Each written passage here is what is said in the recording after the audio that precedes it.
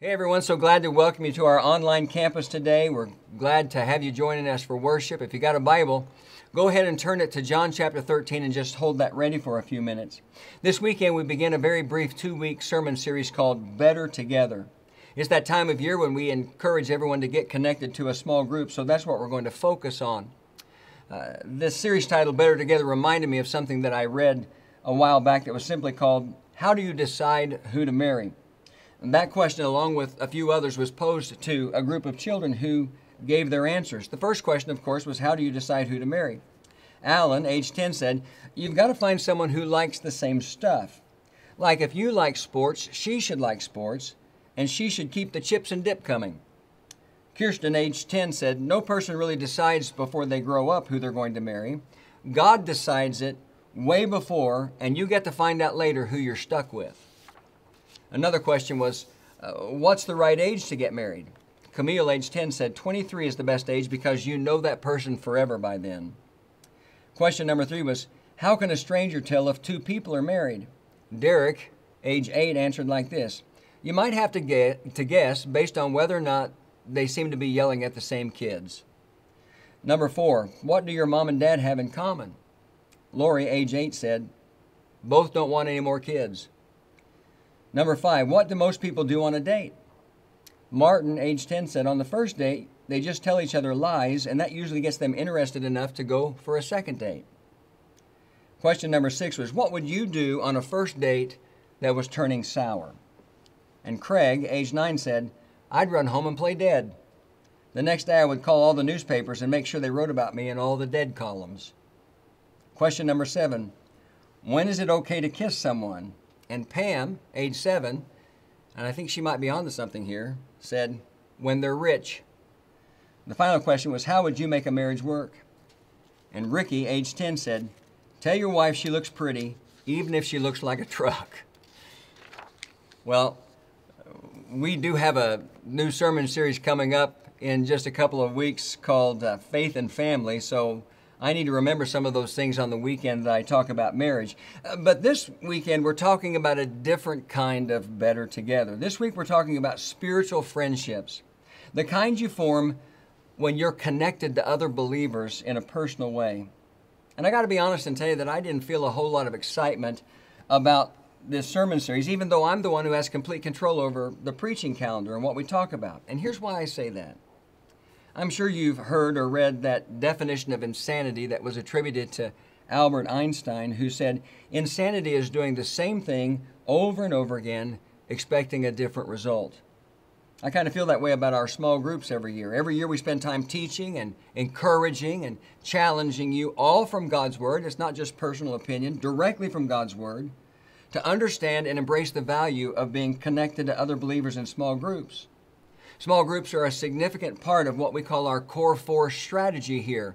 That's the strategy we employ to live out our vision and our mission. Our, our, our core four strategy is compelling worship, that's what we do on the weekend, relational discipleship, spiritual influence, and serving others across the street and around the world. And so, in that relational discipleship strategy, we simply believe that people grow best, and I'm talking about spiritual growth, people grow best in community with others. And yet, every year, more of you choose not to participate than those who do. So it was a little difficult to get excited about this series. It felt maybe a little too close to that definition of insanity. But then ultimately, I, I do what I always do because it's not just a it's not just about getting connected in a small group that sometimes seems frustrating in terms of getting people to respond.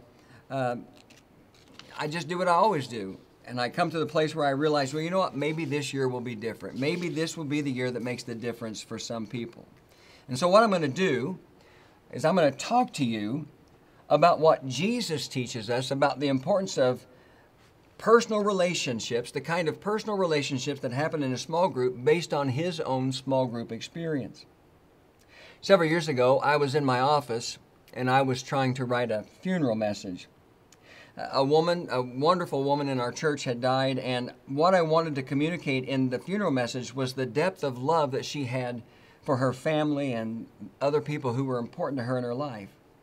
And as I was thinking about it, I started thinking about John chapter 13 and the story of Jesus washing the feet of the disciples. So, if you've got your Bible open to John chapter 13, I want you to look with me there, beginning in verse 1, and follow along as I read down through verse 15. It was just before the Passover feast. Jesus knew that the time had come for him to leave this world and go to the Father.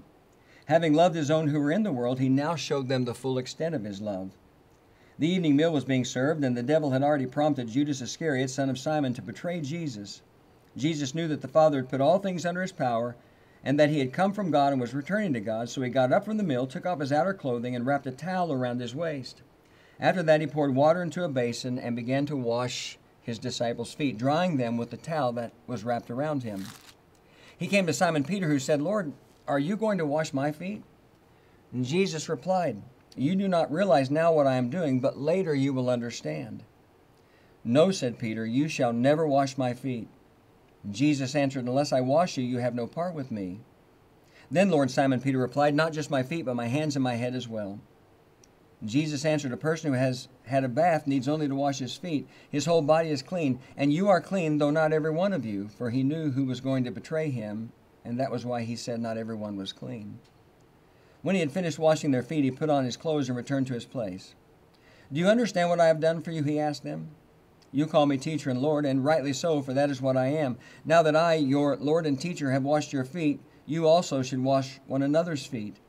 I have set you an example that you should do as I have done for you. We'll stop right there. Now, as I read that story, thinking about that funeral message, something stood out to me that I had really never noticed or thought much about before. It's right there in the first verse, so we'll put that verse back up on the screen.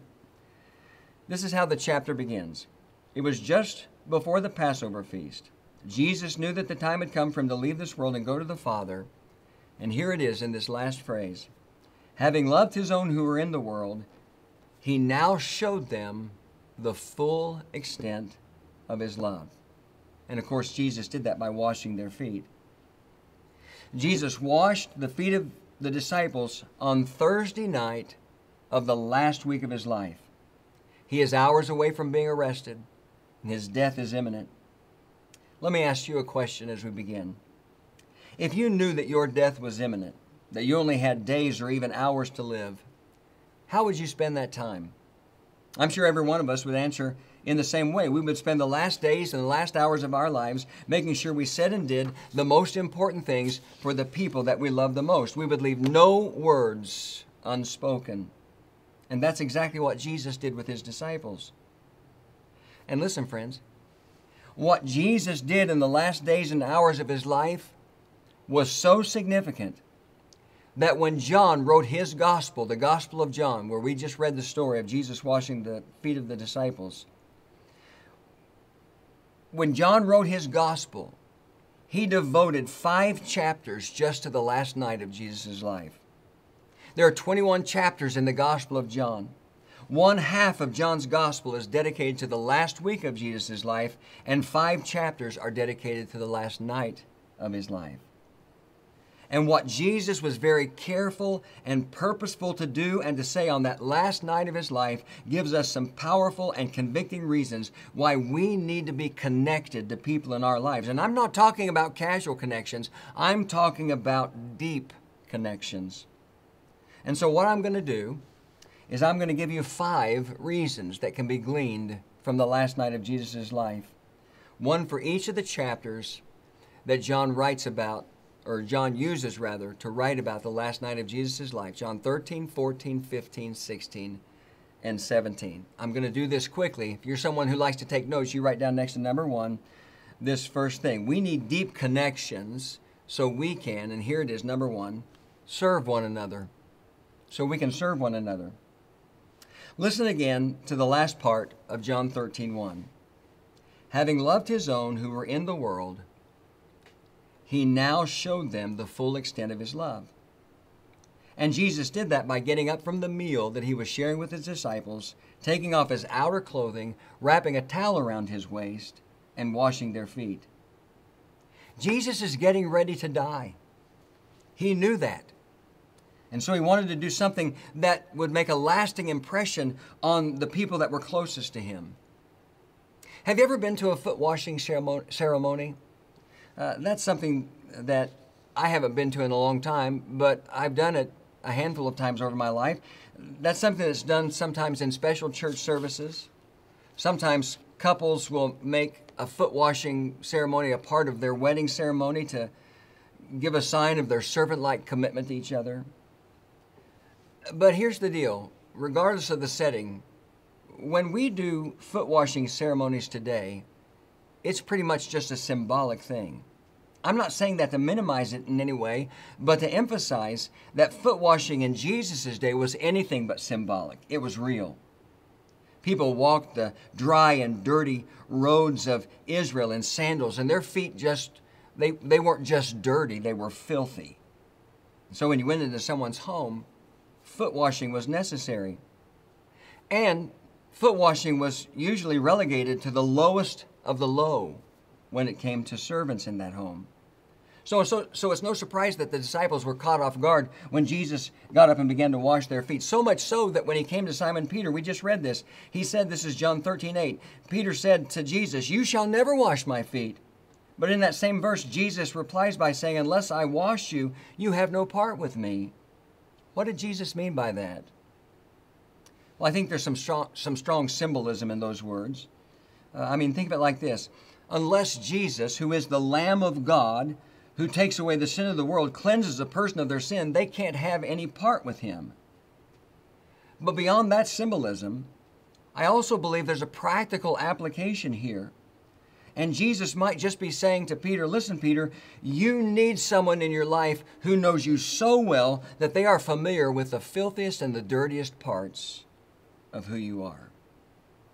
And so here's the point every single one of us needs to have close enough relationships with people that we can show them or we can trust them with the deepest and dirtiest parts of our lives.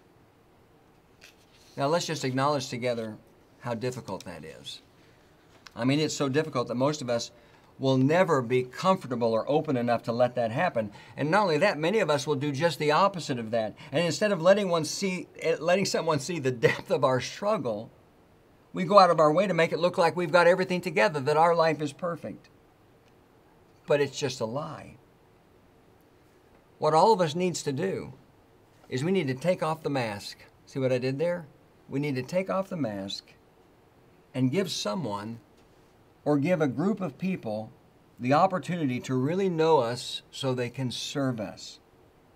You know, in the church, we're always saying, you need to serve. And that's true because the Bible teaches that. We all need to be involved in serving others. That's why one of our core four strategies is serving others across the street and around the world. But the Bible also makes it clear that sometimes we need to be served. Look at these words from 1 Peter chapter 4 and verse 10. Peter says, each one should use whatever gift he has received to serve others, faithfully administering God's grace in its various forms. There are moments in all of our lives where we need to experience the grace of God in some tangible way. And when we allow ourselves to be known, I'm talking about being really known by others, we put ourselves in a position to be served by them when we're struggling and we need to experience the grace of God in our lives. Now, very quickly, because I've already spent too much time on this point, I want you to look back in John 13 with me for a moment, this time just at verse 15. After Jesus washes their feet and puts his clothes back on and returns to his place at the table, this is what he says to them I have set you an example that you should do as I have done for you. Remember, it's the last night of Jesus' life, and he wants to make the most of his time, so he teaches them the importance of serving others by serving them. Listen, friends, being connected to other people in a small group will give you the opportunity to live out Jesus' example. It'll give you the opportunity to serve, not just to serve, but it'll give you the opportunity when it's needed to be served. Well, that's number one. Right down next to number two, this second thing we learn. We need deep connections so we can, here it is, number two, encourage one another. I want you to turn the page in your Bible from John 13 to John 14 and look with me for a moment just at verse 1. John 14 verse 1, Jesus says, He's still with His disciples, Do not let your hearts be troubled. Trust in God, trust also, trust also in me. Do not let your hearts be troubled. Trust in God, trust also in me. Now, the word Jesus uses for troubled there in verse 1 is the Greek word tarasso.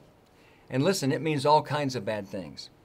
It means agitated, it means restless, it means disturbed. It describes a feeling of fear and dread. Do not let your hearts be agitated or restless or disturbed or be filled with fear and dread. Because that's the way the disciples were feeling on that night. That shouldn't surprise us because it was the last night of Jesus' life. And while the disciples should have understood more about what was happening because of the things that Jesus has already told them, He's already revealed to them what's going to happen. All they felt was a tension and a heaviness in the air. And so Jesus says, Do not let your hearts be troubled. Trust in God, trust also in me. And then, we don't have time to do it, but if you were to begin to read the rest of the chapter, especially what Jesus says next, you'd see that after he says, Do not let your hearts be troubled, trust in God, trust also in me, he begins to talk about heaven. I listened to a sermon recently where Chris Hodges from Church of the Highlands talked about this passage, and he said something that really stood out to me. He said, If you want to encourage someone who is going through a difficult time, don't tell them that life is going to get better because you know what? It might not. Sometimes it doesn't. And I don't know about you, but it seems to me that that's more and more true with the passing of time. I mean, don't all of us feel like right now that we're living in a time when just one bad thing after another is happening? I certainly know that that's the way we feel at my house. He, go, he goes on to say instead of just telling them that things are going to get better, and this is an exact quote from what he said. He said, Tell them that some glad morning, when this life is over, we're all going to fly away. In other words, tell them about heaven. If you were a part of our service last week, you heard me talk about how I preached a memorial service message for my nephew Kyle through a Zoom call. That was probably the most difficult message of that kind that I've ever delivered, in part because I just felt this deep level of responsibility and need to say something that was going to bring comfort and encouragement to our family who was filled with grief. But after some introductory remarks, I just told them that one of the things that I have learned over the years as a Christian and as a pastor is that there are some hurts and losses that we may never understand this side of heaven.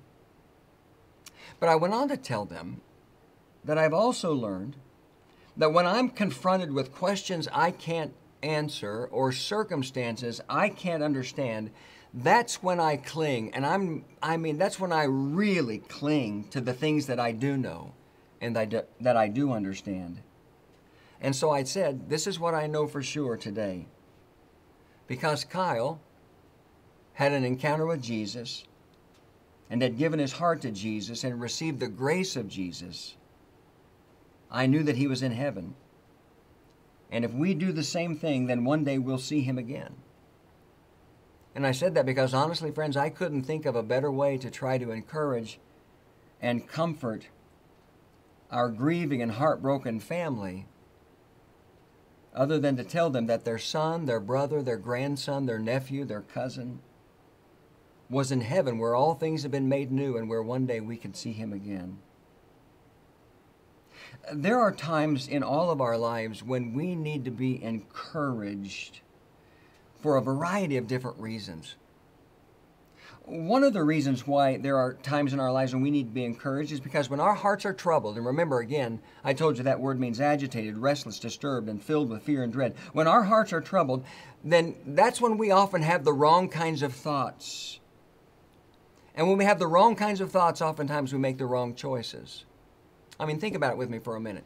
Isn't it when your heart is troubled? Isn't it when you're agitated, restless, disturbed, or filled with fear and anger? Or not fear and anger, but fear and dread, when you look at what you're doing and you say, you know what, I just want to quit, or I just want to give up, or I just want some way out. I can't do this anymore.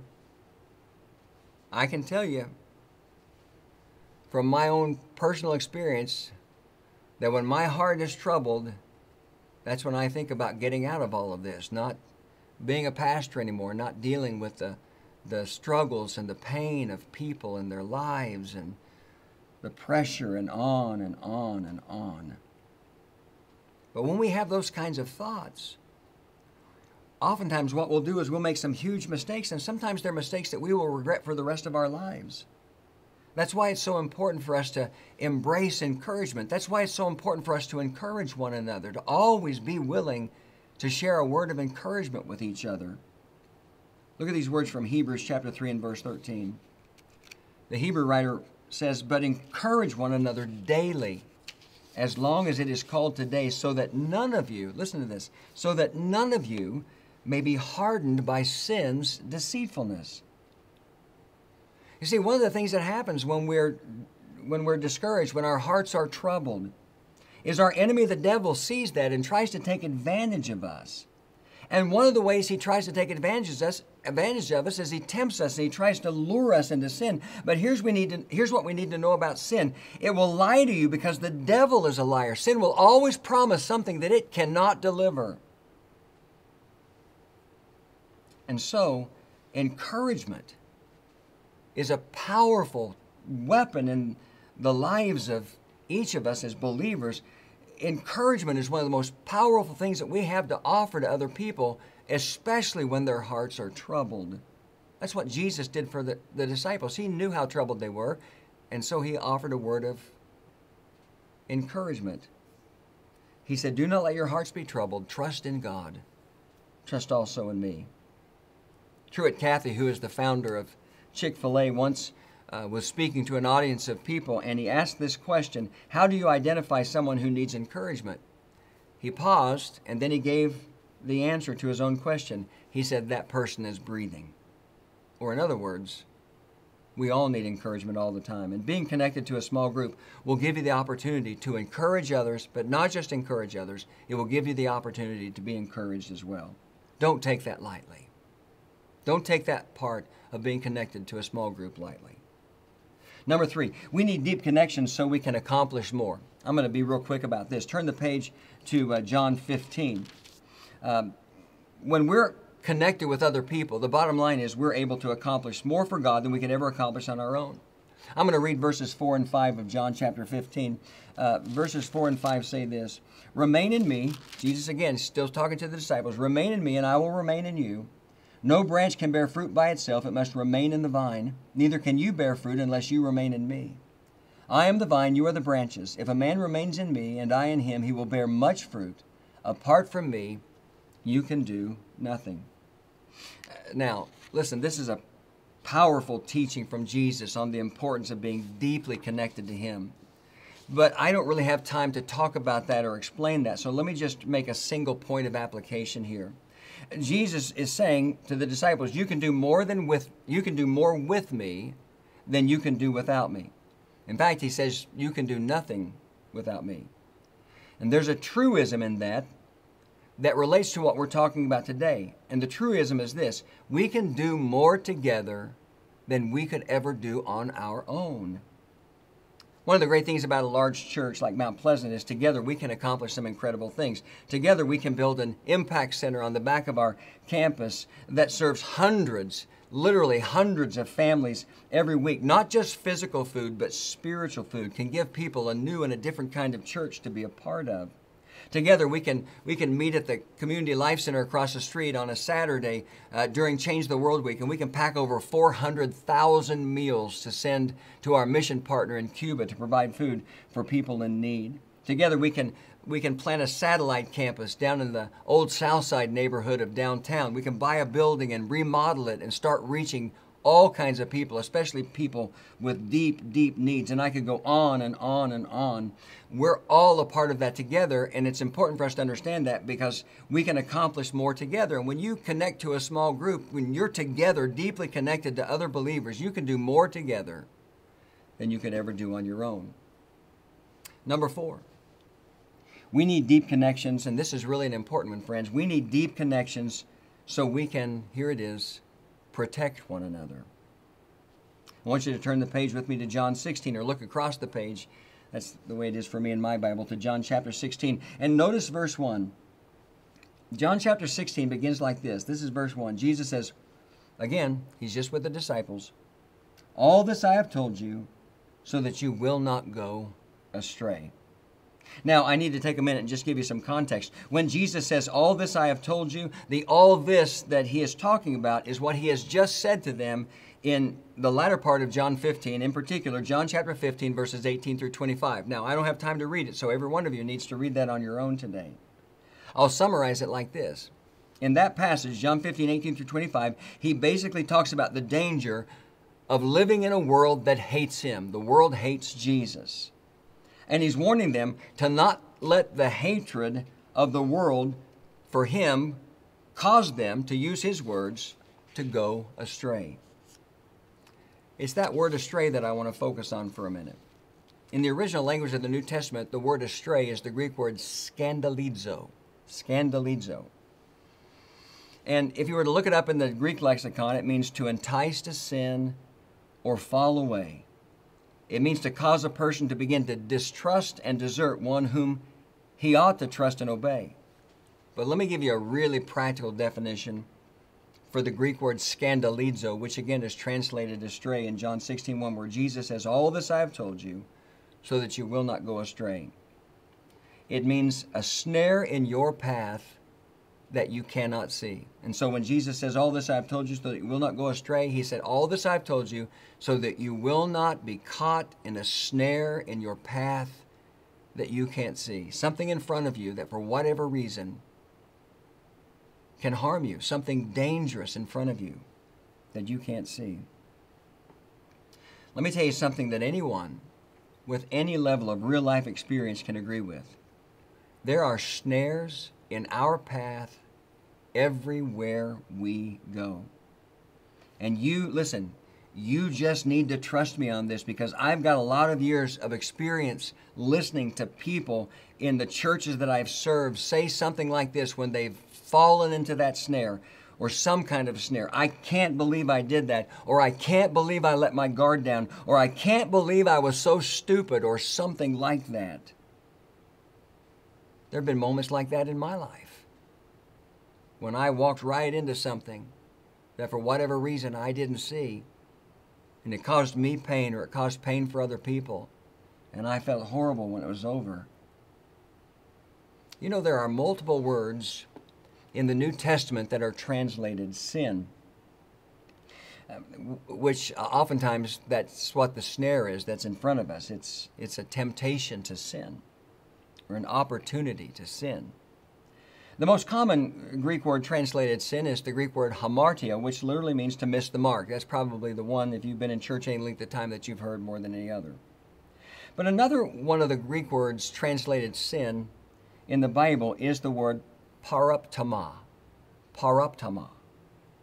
And it basically means to miss your step.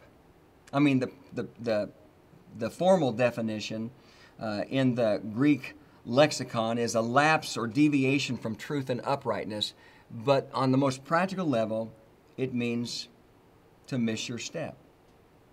Now, let me just talk about that for a minute. Uh, I'm sure every one of us has the experience of walking up or down a stairway. And if you're walking up or downstairs, if you're walking upstairs and you don't pick your foot up high enough and it gets caught on the step in front of you, what do you do? You immediately go down we all, especially living here in central Indiana, we all have experience with having times when we have to walk on ice, ice covered parking lots or driveways or sidewalks or something like that.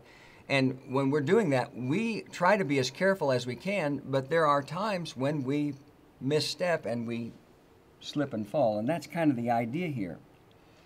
It's the idea that you didn't go out looking to sin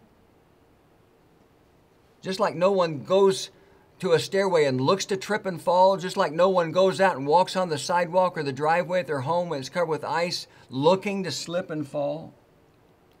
It's just that you let your guard down or you had some kind of a blind spot or you just stopped paying attention. You didn't have any safeguards or boundaries in place. Now, listen to me really closely because I don't want there to be any misunderstanding. It's no less a sin, it's no less an act of disobedience. But what's really sad and disappointed with regard to this word for sin is it didn't have to happen. You, for whatever reason, just didn't recognize the danger. You just weren't careful enough in your life.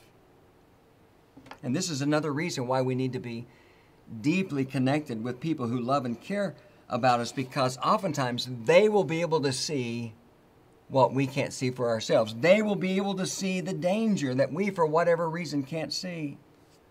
And then they can come alongside of us because they love us and care about us and say, hey, listen, I'm concerned about you and this relationship. I don't think this relationship is good. Or, or I'm concerned about this relationship you're having with a, a coworker of the opposite sex. Or I'm concerned about the amount of time you're spending with people who have things in their lives that can maybe lead you astray, can maybe influence you if you're not being the influencer.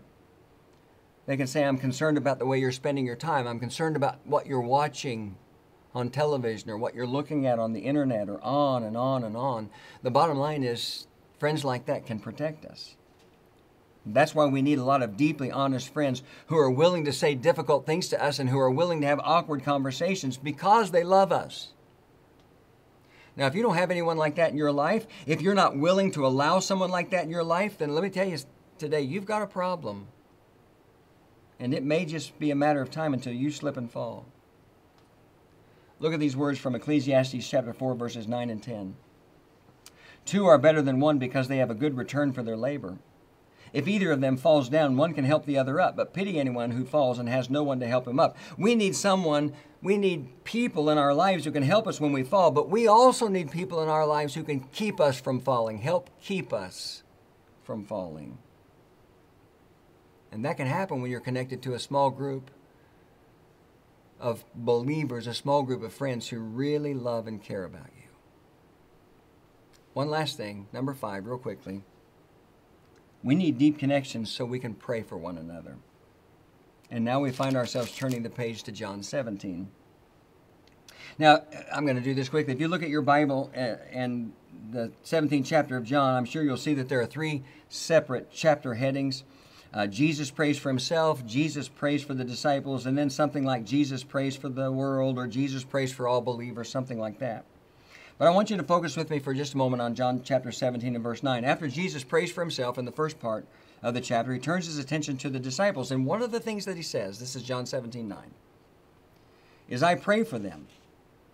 I'm not praying for the world, but for those you have given me, for, for those you have given me, for they are yours.